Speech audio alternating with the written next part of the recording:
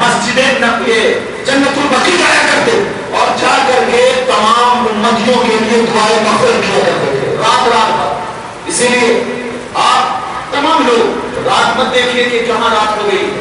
اگر ہمارے رشتہ داروں کا انتقال ہو چکا ہے، تو آپ ان کی قبر کے پاس جائیں۔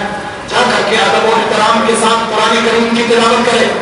اور اللہ رب العزت کی بارگاہ میں دعا کرے کہ مولا تعالیٰ अल्लाह इस रात के सबके दुबैल में इनकी मफरत फरमा बख्शे फरमा क्यों?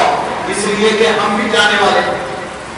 हम भी पाकिस्तान जाने वाले हैं। आज हम, हमारा अमल अगर अच्छा रहेगा तो हमारे बेटे भी हमारे साथ अच्छा ही अमल करेंगे। क्योंकि जैसी गर्मी होती है, वैसी गर्मी हुआ रहता है। और ना आज अगर हम टेढ़े हो गए ना तो कल हमारे बेटे भी हमारे साथ टेढ़े हो जाएँगे।